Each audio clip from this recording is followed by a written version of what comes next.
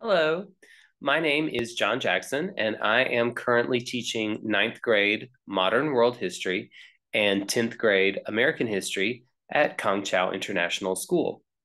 I am originally from Pilot Mountain, North Carolina, and I grew up there until I was 18. Then I went to the University of North Carolina at Chapel Hill, where I did a double major in French and art history and a minor in Asian studies.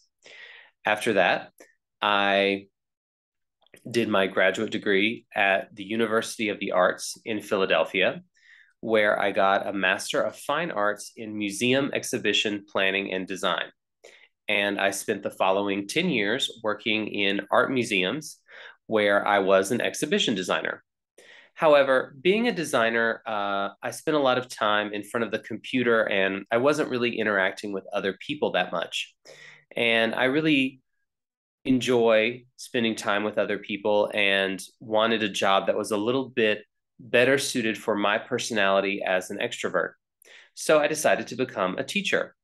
And I went back to school at North Carolina State University, where I got a TESOL teaching English for speakers of other languages certificate.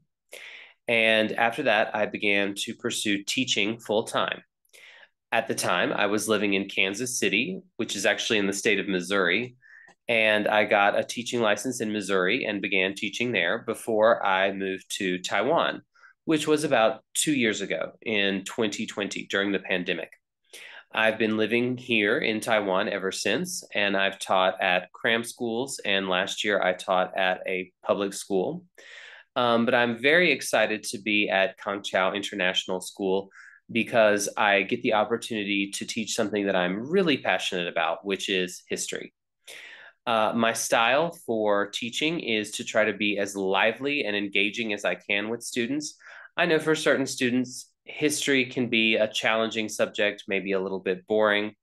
So I try to make sure that my lecture is lively and engaged, and I try to make references to things that are happening now in the contemporary world that are connected to what happened in the past with history. And in that way, I hope that I can make students understand that there is a connection between what happened before and what's going on right now. My assessment style is to make sure that students know very clearly what I expect of them.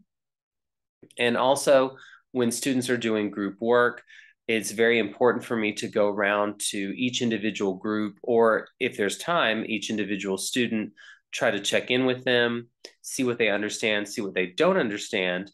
Because oftentimes, if one student doesn't understand something, that's indicative that there are other students who don't either. So I want to make sure that I address anything that's unclear to the whole group. I really look forward to having all of the ninth and 10th grade students this year in my individuals and societies class. I think it's going to be very successful, and I look forward to getting to know them better. And I look forward to teaching them about some fascinating subjects, which are world history and US history. All right. Thank you. Bye.